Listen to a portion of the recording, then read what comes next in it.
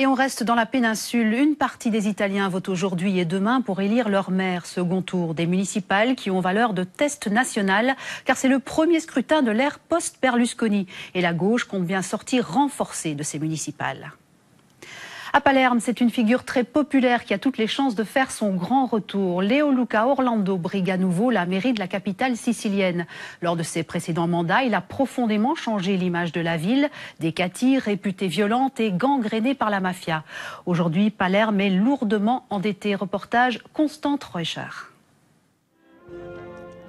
Il ne manque jamais une procession. Léo Luca Orlando est candidat à la mairie de Palerme, un poste qu'il a déjà occupé trois fois dans les années 80 et 90. Il a ensuite rejoint la coalition de centre-gauche à Rome sans réussir à s'imposer. Aujourd'hui, il veut donner un nouvel élan à la politique en Italie. La ville est enlisée dans une crise profonde. Palerme est le mauvais élève de l'Italie. Si Orlando parvient à mettre fin à la corruption et à reprendre en main la gestion de la ville, celle-ci pourrait servir d'exemple à tout le pays, mais il y a des conditions. Ce qu'il faut à Palerme, c'est une administration crédible et un budget transparent. Je veillerai personnellement à ce que tous les fonctionnaires incompétents et corrompus qui ont puisé dans les caisses de la ville ces dernières années soient licenciés. À l'époque où Orlando était maire, la ville était florissante. Aujourd'hui, elle est délabrée. La caste politique a ruiné l'Italie, un constat qui a déclenché une vague de protestations dans le pays. Orlando est membre du parti réformateur l'Italie des valeurs. Pour les palermitains, il incarne l'espoir. Quelqu'un qui a fait ses preuves, c'est encore ce qu'il y a de mieux. C'est mieux que l'inconnu. Pour Orlando, il faut arrêter la rhétorique et les protestations et traiter le mal à la racine. Avec un appareil administratif qui ne fonctionne pas, le citoyen est réduit à un sujet, un quémandeur.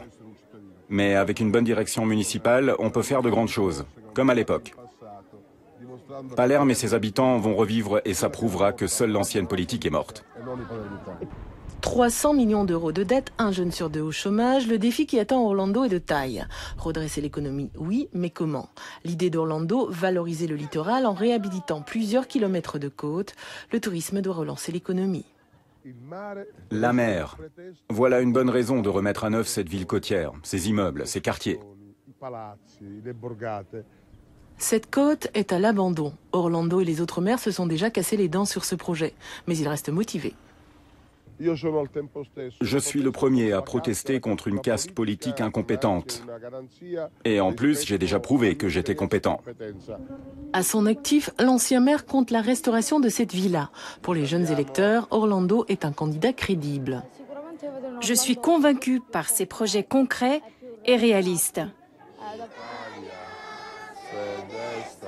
Palerme est en bout de course, reste à voir si, comme beaucoup l'espèrent, Orlando peut lui donner un nouveau souffle.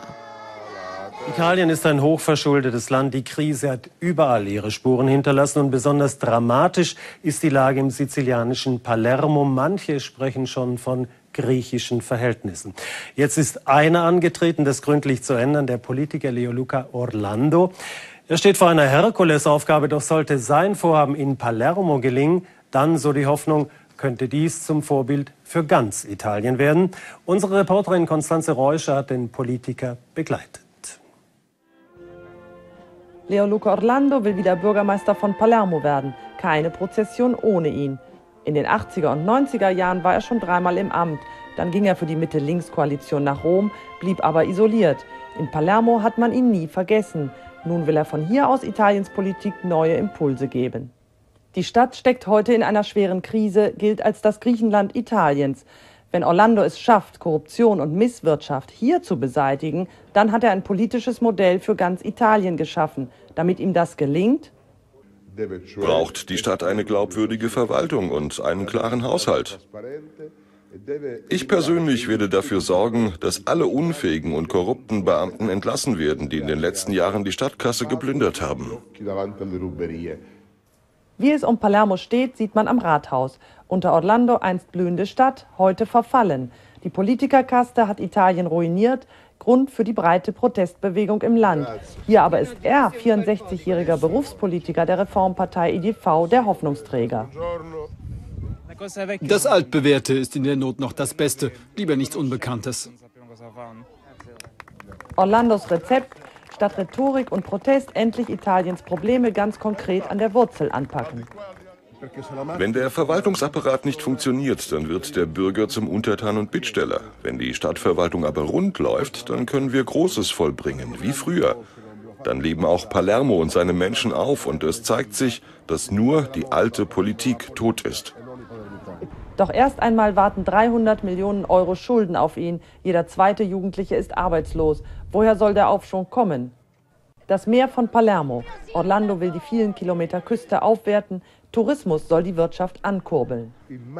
Das Meer ist eine gute Gelegenheit, die Stadt an der Küste, die Häuser, die Viertel wieder schön herzurichten. Aber die Küste ist verwahrlost, die Stadt dahinter auch. Wie will Orlando das schaffen, woran er selbst und später andere gescheitert sind? Ich bin der Protest gegen eine unfähige Politikerkaste und zugleich habe ich schon gezeigt, dass ich für kompetente Arbeit stehe. Das zeigen noch Kulturprojekte aus seiner Amtszeit wie die Restaurierung dieser Jugendstilvilla. Sie machen ihn bei Jungwählern glaubwürdig. Mich überzeugen seine konkreten und realistischen Projekte.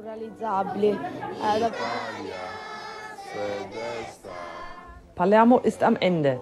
Viele hoffen, aber nicht alle glauben, dass Orlando seine Stadt noch retten kann.